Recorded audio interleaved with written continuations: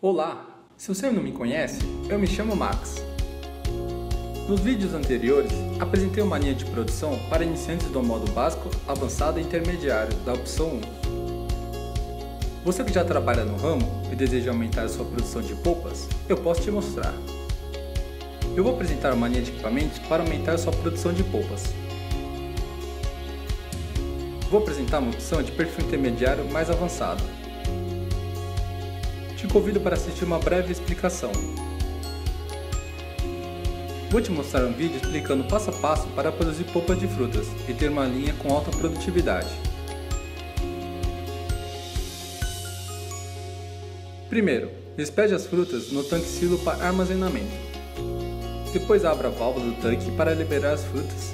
Nessa etapa da esteira, aproveite para selecionar as frutas boas e descartar as ruins, e a esteira locomoverá as frutas até o tanque de lavagem. O tanque de lavagem fará a higienização das frutas através do sistema de borbulhamento.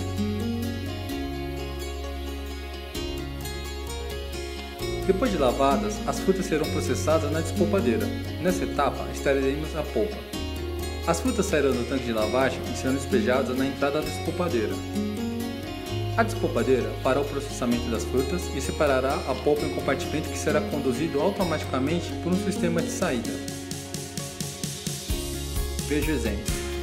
Neste caso, estamos demonstrando sem a tubulação de saída, que fará a integração com o tanque bomba.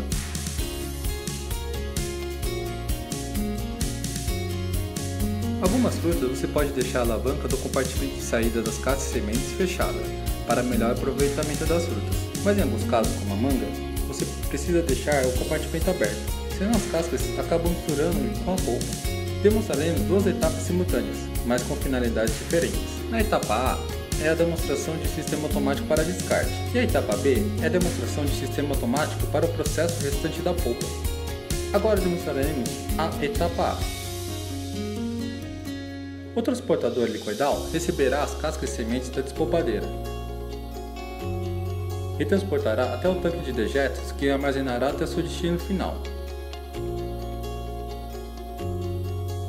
Agora demonstraremos a etapa B.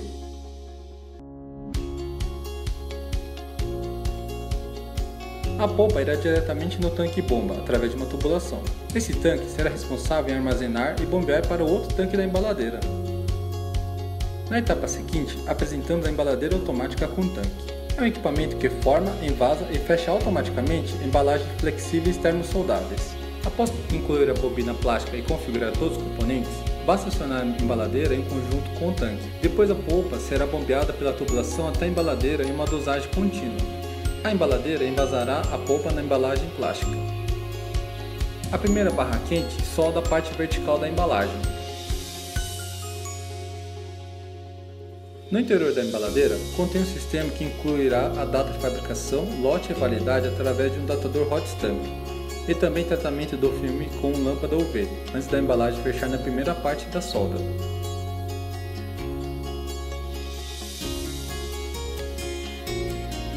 Depois a outra barra quente solda no ângulo horizontal, assim finalizando a embalagem com polpa.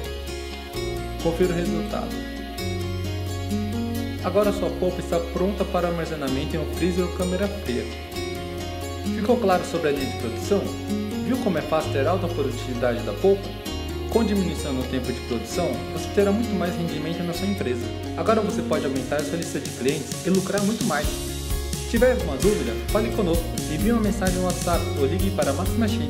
Desejamos muito sucesso e conte conosco. Até logo!